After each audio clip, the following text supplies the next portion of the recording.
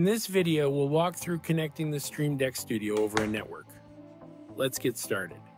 First, you need to connect the Stream Deck to power using a USB cable and plug it into your network with an Ethernet cable.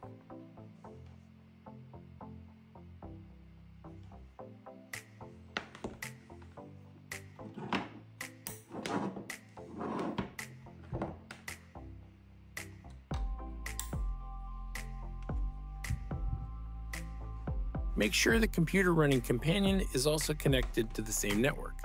The Stream Deck will automatically boot up with the option to configure network settings. But before we adjust anything on the Stream Deck, let's set up the network on the computer first. Go to the network settings on your computer and enter the correct values for the right network port. If your network uses DHCP, you won't need to do this manually either on the computer or the Stream Deck.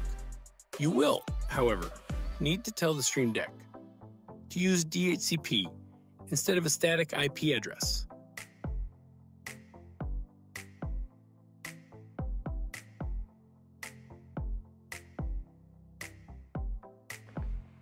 Now, let's input the correct network settings on the Stream Deck.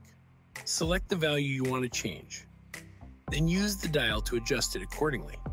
Once the network settings are configured on both the computer and the Stream Deck, you can launch Companion.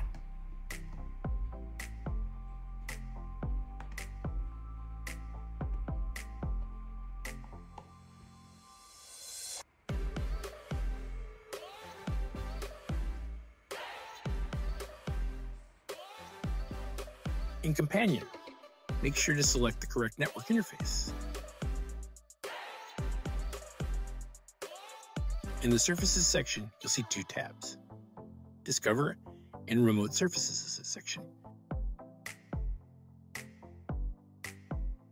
But first, you'll need to add them via the Discover tab.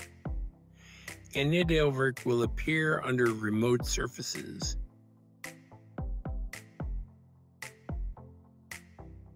Once you've added the Stream Deck, it will automatically start up. You can rename it in the Surfaces section, and now it's ready to use.